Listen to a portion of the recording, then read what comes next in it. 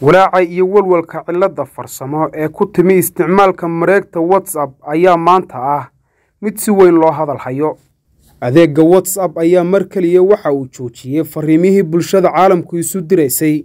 Whatsapp ayaa ah barkulan amaba adeeg isgaadhsiineed oo ay isticmaalaan laba bilyan oo qof oo ku kala nool boqol iyo siddeetan waddan oo adduunka ah.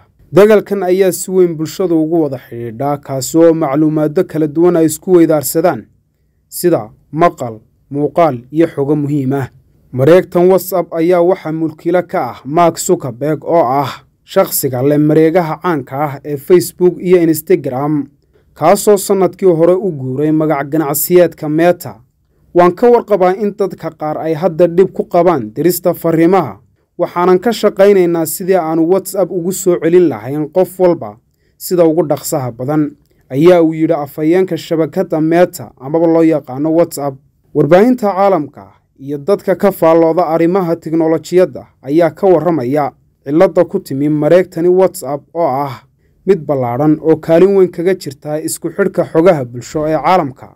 Abka fariimaha caanka ah ee whatsapp ayaa si tartiib tartiiba ugu soo laabanaya khadka. Maanta kadib cillad muddo haysatay laga bilaabo sagaalkii subaxnimo ilaa koob iyo tobankii duhurnimo iyadoo qaar ka mida dadka isticmaalo aaladani ee ku sugan.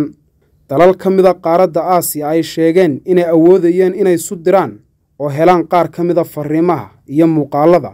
Xilli dadyowga kale ee dunida ay cilladani hakisay. Isticmaalka iyo adeegsigii dhinaca fariimaha ee degalkani waa maxamed axmed cabdilaahi maxamed xudeyfi telefishinka c b a hargeysa